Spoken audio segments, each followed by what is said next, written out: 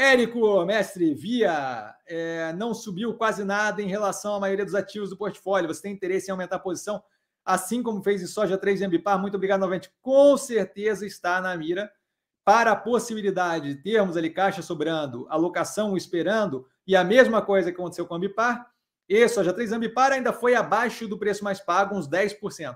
Do preço mais barato pago, uns 10%. Agora, soja, como citado ali pelo nosso coleguinha mais cedo, é, aumentou o preço médio, se não me engano foi o Luciano que, que falou, é, aumentou o preço médio, tá? É, deixa eu até ver quem foi, só para efetivamente falar quem, quem, quem foi que citou aqui o negócio do preço médio mais alto.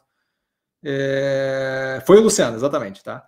Então, assim, é, é, possível que, assim como soja, mesmo que o preço da via esteja acima do último pago, que eu acho que está acima nesse momento do último pago, do, do, mais barato pago, ainda assim é possível que a gente tenha aumento de posição ali, é, pelo mesmo, pela mesma lógica da soja 3, certo? Muito espaço para andar ainda. A gente começa a ter menos opções extremamente descontadas, a gente começa justamente a realocar, distribuindo em ativos que façam sentido, tá? E aí o Luciano, na sequência, explicou muito bem, muito obrigado, sempre grato. Abraço, grande abraço, Luciano. É, fico feliz, cara. Rafael, boa noite, mestre Cassiano, boa noite, Rafael. Só um pouquinho. O Érico, espero ter respondido, tá? Acho que, acho que foi tudo. Falei tudo, mas pode sim, tá? Via é uma das opções.